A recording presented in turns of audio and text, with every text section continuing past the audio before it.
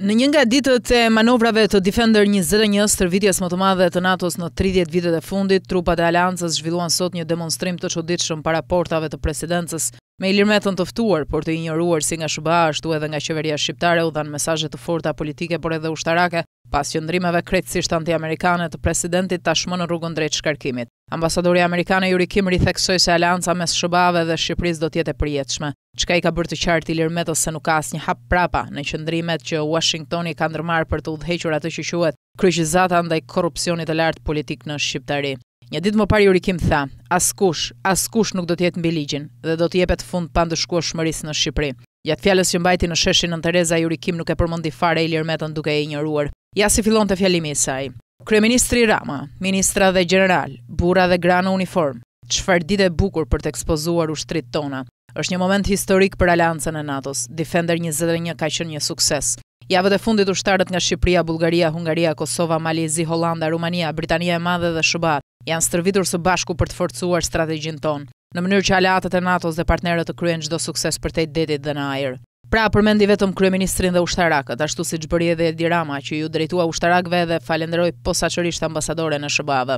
Një taktikë cinike që duket e çmendi Ilir Metën, gjë që shihej nga gjuha e tij e trupit. Por Yuri Kim ka vijuar më fort në mesazhin politik që dukej qartë që ishte një shuplakë tjetër ndaj Sali Berishës dhe Ilir Metës, që konsiderohen si njerëzit e lobit antiamerikan në Tiranë. Amerika ka një mike të guximshme, ku nuk ka më të fortë dhe të vërtetë se Shqipëria. Kjo stërvitje i hap rrugë një partneriteti strategjik. Unë besoj që suksesi i Defender njëzet e një është përfitim për popullin e Shqipërisë. Vlerësojmë që pavarësisht nga dallimet, të gjithë ju e pranoni që gjendemi në një moment të rëndësishëm në histori dhe të gjithë ne jemi të bashkuar se kjo marrëdhënie mes SHBA-ve dhe Shqipërisë është e rëndësishme.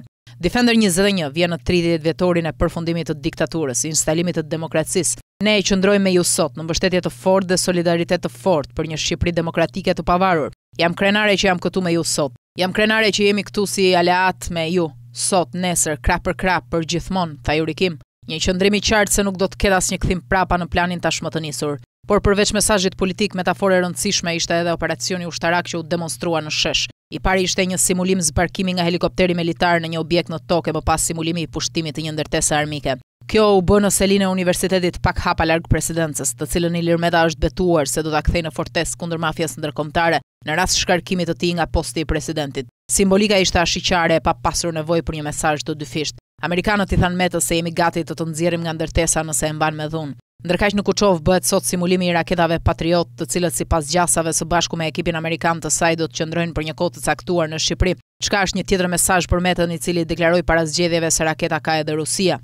Natyrisht që çdokush e kupton se Rusia nuk ka luajtur mendsh si likja që të lëshojë raketa, por SHBA-t i kanë perceptuar deklaratat e Ilir Metës si mesazhe politike, Dhe përgjigjen e ka marrë të fuqishme dhe direkte. Raketat Patriot janë një sistem antiraketor të provuar njëqind për qind të suksesshme për të shkatërruar çdo raketë ruse. Suksesi i tyre është provuar në Luftën e Gjirit në nëntëdhjetë e njëshin, por edhe në Lindjen e Mesme në luftën e Sirisë kur raketat ruse të Iranit nuk arrinin asnjëherë caqet e Izraelit. Pamfleti është një platformë mediatike analitike që u lind si domosdoshmëri e një tribune pa kompromis, si një zë i fuqishëm në luftën pa ekuivok ndaj krimit dhe korrupsionit politik në Shqipëri.